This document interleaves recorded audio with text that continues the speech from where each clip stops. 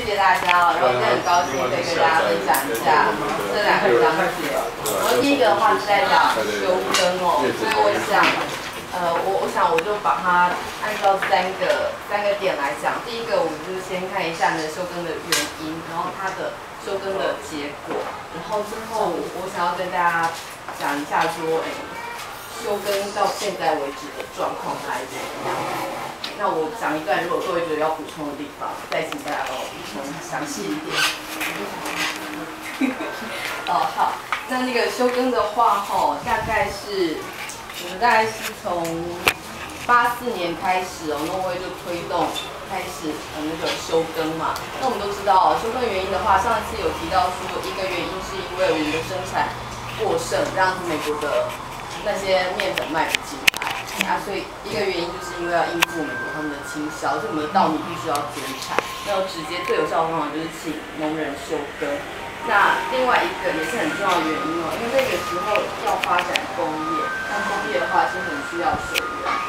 所以其实另外一个原因就是因为工业要抢水。那所以就是刚好就趁着这个时候就强迫农人休耕，把那个水省给省给工业来用。这边的话，书本里面它有提到一个一个令人很很伤心的例子哦，就是在讲那个吉吉兰河宴。那因为呃这一段的话，大概是在课本的第两百六十三页后面开始。那这吉吉兰河宴的话，主要是它呃就是在一个二六三的最后三行这里有讲到。他说：“呃，我们在二六三的倒数第二行那里可以看到，他说从南头的浊水溪上游，从这里开始哦，这是吉吉兰河堰。然后呃，我们翻过来的话，他会说占呃大概征收掉了七十二公顷的私有地，让他用掉五百公顷的公有林地和川地，然后铺设了大概八十九公里的这个水泥渠道直达。”云林海口，那这个很明显，其实就是专门给六轻送水用。那六轻它是一个离岛工业区哦，那当初的话也是政府填海造路，然后用很便宜的价钱卖给台塑，然后这个也是专门为他们，就是花公帑，然后为他们引水。那一样工业用水也是很便宜的卖给了台塑，九十六元，每瓶九十六元。啊，什么叫每瓶？一瓶一瓶的。打秋树哦，然后对，那在两百六十四页的第四行这一段，也是非常非常讽刺的。他当初说，这吉吉兰和叶永花这么多钱来盖，是第一个要增加新水源，但其实他只是用，他只是拦住呃浊水器上游的水，拿来新水源呢？所以这真是是一个很大的谎言。然后再第二个是减缓地层下陷。那其实并没有，然后在第三个稳定农业灌溉水源，他直接告诉你，对，然后接下来节省渠道的维修费，啊，你盖新的花更多钱啊，不是吗？所以下面还有一个也很讽刺，他说可以增进防洪功能，减少生命财产损失，甚至还有下面是什么改善农业生产环境，促进地方产业升级发展，对这些莫名其妙的这些空话出来。那可是他最后告诉你，这这一些的端出来的牛肉当中是有一块是真的，那就是最后这个给云林离岛工业区的用水。那这里指的就是台塑六期。对，那呃，基基兰和演的话，到现在，呃，到到到大概呃两年前那时候，国光十二号新建，那所以呃它的位置的话，刚好会在六轻的上面一点点，就变成浊水溪的上呃南北两岸。六轻在浊水溪南岸。那如果湖光石化那时候盖成的话，就会在北岸，所以就是这两大就会雄踞我们的第一第一条河这样子。那那时候，呃呃，为了国光石化，基基兰河堰的水已经不够用了，所以那时候是说要在另外一条那个台中的乌溪，又要再弄一个弄一个什么弄一个什么东西，反正又要去引乌溪的水来到国光石化那里。那不过还有说国王石化当时是有喊卡的，那不过最近这几天好像他又阴魂不散的，在台中港，他说要盖在台中的，对对对，这两天，那我只想说借尸还魂。我觉得不可能盖成啊。之前不是说是新新加坡？现在马来西亚，马来西亚。被马来西亚挡回来。现在是要盖在台中，所以可见这个产业是是已经被人家都不愿意，连现在东南亚国家都不愿意啊，因为他们还是没那么高，不愿意了。对，这样子也是张华黄某跟那个有跑去马来西亚，哦，就是跟他们报信，通 风报信，他们才不是知道。跑去帮他们支援，哦还被请进他们对对对，还被请到警察局，被逮捕了，被警察真的是很辛苦的。请进去，然后回来之后，然后换那边把狂流赶回来，不是说不回来投资了吗？是前两天好像又有一个呃，那个是谁呀、就是说我们的经济发展常常会碰到环保墙，就会被寄回来，所以就现在他们呃呃就觉得说，哎，那那个环评会议的这个这个结论，呃，就是环评会的权力好像太大了，怎么可以让环评会说，呃，我给你打打回票，你就这个案就怎么要卡掉？所以他们现在有有有想说把这个环评的权利收回来，到开发单位这，那就变成说是收人剪裁。这两天有在有在讲这件事情，有啊，后来是环保团体又去骂了，还不知道，什么都对，就是一整个让人家什么都啊，好像已经不是温水煮，就直接给你丢进我的玻璃袋里。他们就直接跑到行政院前面啊，然后一个人就是戴马英九的面具嘛，啊，马英九在那边喊环保治国的时候，旁边三个就是什么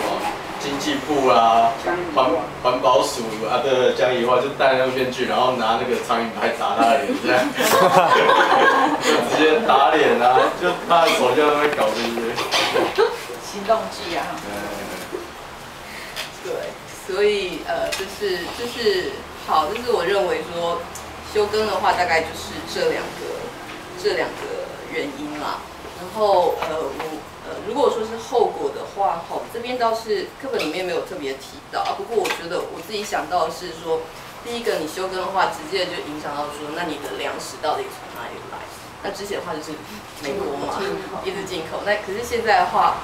现在我们会有一些比较严重的问题，比方说气候变化这么大，那比方说澳洲啊，它旱灾，所以面粉减产，小麦减产，嗯那我们的面现在大家又吃面包，所以就马上就涨价。对，然后这是一个原因。那第二个的话，我是看这个冯明辉老师的书里面，他也提到说，现在油价这么，油价石油的话应该越来越贵，所以我们在之后我们有没有办法付那么多运费，去买这些粮食来进口？哎，那呃，现在的话，粮食其实应该是应该是缺乏的，因为它很不平均嘛。那所以在这些天灾，然后油又贵，然后粮食可能也不够的情况下，以后有没有国家愿意出口粮食给我们？所以这是第一个，我想要是说，那我的粮食自给率已经很低了。我今天看到一份好像说，我们已经是亚洲这些已开发国家最低的，自己三成只有三成。那日本好像，日本跟韩国都有四成多。日日日本他保护他自己，因为嗯，在对不起，我我插嘴，请你说那个农业应应应该是算在，它不是农业，其实它是算国防工业，尤其是台湾，它是海岛，那我们跟对岸还是敌对的状态。万一我不要不是说人家要不要出口，万一他要出口被封锁了，那时候一九九五飞弹危机，我不晓得大家还记不记得？他丢飞弹过来，他他不不不落在你那个，他只是威胁，落落在海里面，所有的船只都不敢过。谁谁谁，我我不晓得我们世界上连正式友邦都没有，那那隐藏友邦有没有？能不能像柏林围墙被封锁？柏林是在位在东德，有没有哪一个人会空投每每每天一架飞机牛奶耶？他牛奶，他运牛奶给那个柏林市的那个就是婴儿车西柏林，对对对对对，他整个柏林是在东德。那柏林围墙，柏林围墙盖起来，我们我们我们有没有盟友，不管是明的或暗的，能够每天一架飞机这样起？所以德国到现在还是很感谢美国。那台湾有没有这种朋友？国际上有没有所谓的朋友？不知道，因为台湾是一个海岛，大家不要忘记，它不是大陆。对，所以应该是把农业等同于国防工业。如果人都没没得吃，怎么打仗？我们先不要讲武器。老师的补充。所以就是，对啊，所以我们到底农业接下来能不能还有发展的空间，然后到底要怎么去发展，这是一个。我想到说休耕这么久了，那怎么办嘞？然后第二个我想到就是说，呃，因为一直休耕的话，那个对地力其实是是一种浪费啦。你那土地久了没耕作，其实你要再耕作的话，是它的地力可能都没有那么肥沃了。哎，所以对这样子荒废掉的土地，可能大家对它的呃价值感吧，是会不一样的。可能大家就觉得说，啊，这就是就是没有价值的东西吧。我在猜会不会这样？所以人跟土地之间的连接，是不是就会越来越薄弱？对，这是我我看这个章节我所想到休耕的原因跟目前看到的结果。呃，然后最近的话，我看了一些那个关于休耕补助的一些一些状况，然后嗯，刚刚提到说是从八四年开始的时候就开始推动轮休嘛，那一直到九七年的时候，一九九七年的时候就已经全岛都有可以领休耕补助了。那时候我在想，是不是那时候是因为那个 WTO 的关系？我没有查他确切的那个时间，可是我在想，是不是就是为了要接续那个 WTO，所以就是那个时候就一直在推哦。然后我查到说，他那个领修跟补助的价价钱哦，现在的话是一公顷，然后一期的话可以补助四万五，然后两期的话就是九万。哎，然后这个期的话，意思是说，吼，稻田的话大概是春天跟秋天各做一次。啊，然后冬天的时候就是种蔬菜，所以这样种的话，就是一年可以算三期。他领那个休耕的话，就是一年可以领到两期的休耕补助，总共是九万。所以他休耕是有条件，就是说你你休耕，可是你要种绿肥。嘿，啊，所以你扣掉那些钱的话，种绿肥有什么钱的话，就是说你的你你呃扣掉那些支出的话，大概还可以领个领个。十领大概是六到八万左右，一年啊，对，嗯，一公顷大概可以一公斤差不多是一架东。他们洗边那钱哇，对啊，那一个月才五千啊。啊啊，基本上农民本来一年收入主要很低。对，一一就算种也种不了多少。他就种绿肥，就是也不用怎么管啊，但是他可以去做其他事，但是他可以领钱。嗯。所以现在现在就是年轻的那个。年轻想青年回乡，就是找不到田租，就是因为这样。就是他现在是一年两期的补助啊，变成说你的租金一定一年要要高于他那个要高过他原那个补助的收入啊，除非那个老农他自己是有概念，说他希望土地持续有这个耕种。所以就是就是说，现在那个年轻人如果要。要要回去耕田的话，那如果我们的农委会倒是有提出一个叫做什么，呃，小地主大佃农的计划，然后他就是他就是呃让这些提出来说他会去找这些有时候跟补助的农民哦，那特别很多会是一些老农嘛，那其实他们也是希望他们田地可以有人继续耕种，那他们会去找这些人土地，然后再去找一批呃找一批愿意耕种的年轻人，让他们来承租这样子。可可那个政策好像，那个政策好像没有用到，因为他是大佃农，所以他的对象会是在企业主。企业主。因为他他希望是大佃农，他希望是大面积的栽种这样子的政策，所以青年返乡他反而没有办法搭上这个，这个小地主大佃农的政策。这个政策不是用第一边吼，迄个迄个迄个都都市青年吼，到等于乡村去去耕种。而且现在卡在老农会有那个旧的，因为三七五减租的问题，所以他会不愿意把这个土地租给那个大地的问题。这样。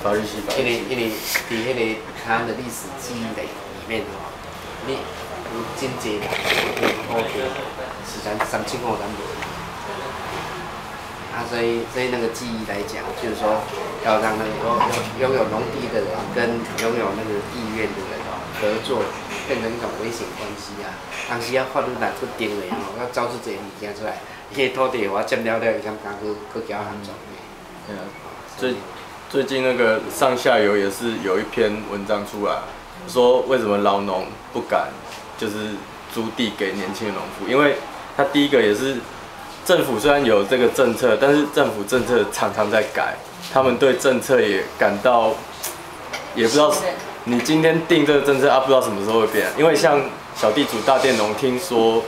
我不知道是看错还是怎样，好像七月就暂停了，推行三年，今年七月就暂停了。啊，目前后续会怎样也不知道，所以上一次那个农夫小贱贱才会剖那一篇出来。哦，就是他他们一定要地够大，那个收收入才会跟支出可能稍稍打平。